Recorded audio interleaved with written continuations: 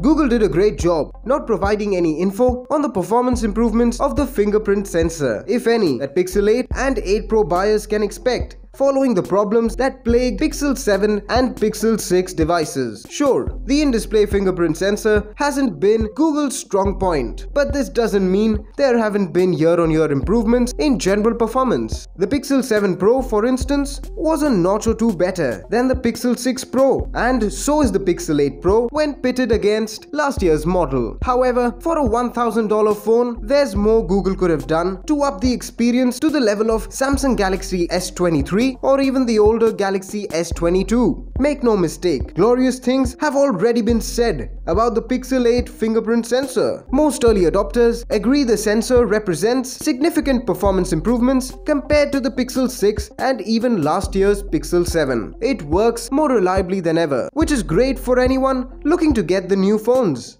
Google even went a step further and baked secure face unlock to make the phone more hacker resistant. Even with these forward leaps, the quality of Pixel 8 fingerprint and face unlock performance is still incomparable to Samsung Galaxy S23 and iPhone 15 Pro. Before we get to that, if you find this video helpful in any way, don't hesitate to hit that subscribe button as it really motivates us to keep making such content. Samsung Galaxy S23's ultrasonic fingerprint sensor sensor is the best in the business. iPhone 15 Pro's Face ID remains an industry leader. The Pixel 8 and 8 Pro on the other hand rely on the same optical fingerprint sensor as before, which pretty much suggests no major performance improvements from a hardware point of view. While the phone's face unlock is Android's highest biometric class, it still relies on software to convert a 2D image of your face into a 3D-like representation for secure authentication. This is unlike Apple's Face ID, which relies on sophisticated hardware for the same purpose. Maybe not today or even tomorrow, but I get the feeling someone will manage to get past the Pixel 8 face unlock. We had hoped for a switch to a more reliable ultrasonic sensor that Samsung has been using in its phones for a while now, but Google opted to cheap out once again with a weaker and less reliable optical sensor, even on its pricier model.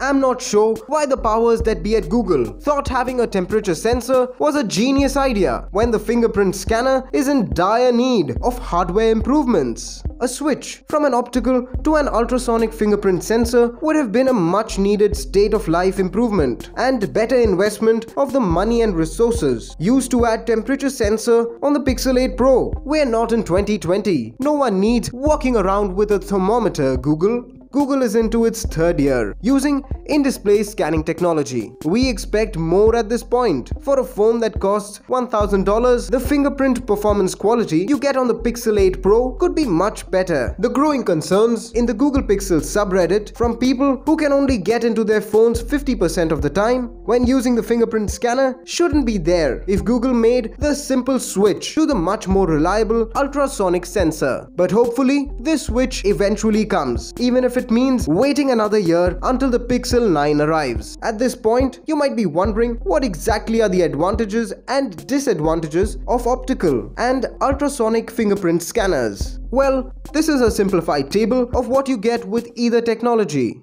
As noted, a good number of people say it works. Although you need clean hands, you're out of luck with your dirty fingers, wet or dry fingers or maybe even rough fingers due to the type of work you do. These types of issues aren't a problem for the ultrasonic sensors. It can scan through damaged fingers to get accurate readings and unlock your phone without any problem. But the Pixel 8 tends to struggle. Granted, using less capable hardware could be the potential source of fingerprint scanning problems affecting some Pixel 8 owners. However, this might be more noticeable for people coming from devices with superior fingerprint scanning hardware such as Samsung Galaxy S23, Galaxy S22 or even the older Galaxy S21. We have more such videos on our YouTube channel, so be sure to check them out as well and follow us for more. Thank you for watching.